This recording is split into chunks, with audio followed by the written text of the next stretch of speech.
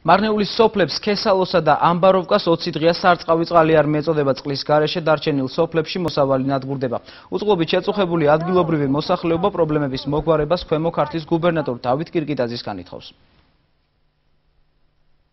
დიახ. კი ბატონო. ვოც посмотрели. ვერ გავდით თესლებს, ვუვლიდით, მუშაობდით, მთელი ოჯახი. აი შეხედეთ, ამის დარგვა შეიძლება მიწაზე, არ შეიძლება.